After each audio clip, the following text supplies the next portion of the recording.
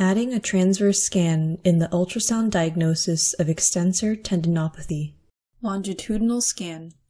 When performing ultrasound examination of the common extensor tendon, the common extensor tendon should appear beneath the brachioradialis muscle as a hyperechoic, parallel, cord-like structure.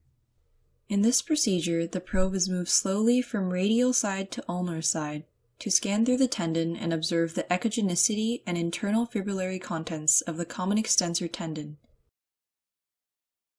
Transverse scan.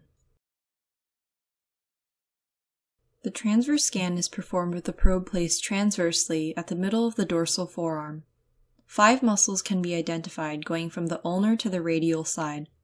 The extensor carpi ulnaris, ECU, extensor digiti minimi, EDM, extensor digiti communis, EDC, extensor carpi radialis brevis, ECRB, and extensor carpi radialis longus, ECRL. The EDM can be easily identified by having the patient move his or her fifth finger. The rest of the muscles are then sequentially identified by their relative positions to the EDM. Moving the probe proximally, one can see the oval-shaped EDM muscle fibers converge to form the eccentric EDM tendon, hiding beneath the EDC muscle.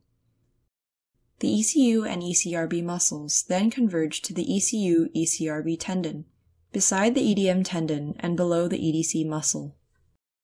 When the probe reaches the radial head, the annular ligament is appreciated as a thin, rainbow-like hyperechoic structure wrapping around the radial head.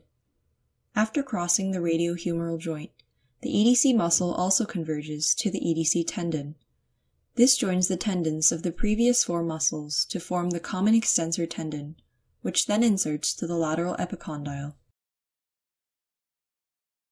In the first case, the longitudinal view of the common extensor tendon showed focal hypoechoic change and a small slit-like anechoic gap at the tendon's insertion to the lateral epicondyle.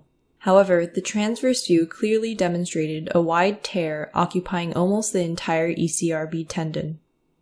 Based on this finding, the physician postponed the patient's eccentric strengthening program to prevent further injury and allow healing to take place. In the second case, the longitudinal view of the common extensor tendon showed hypoechoic change in swelling at its insertion to the lateral epicondyle, involving the entire length of the common extensor tendon.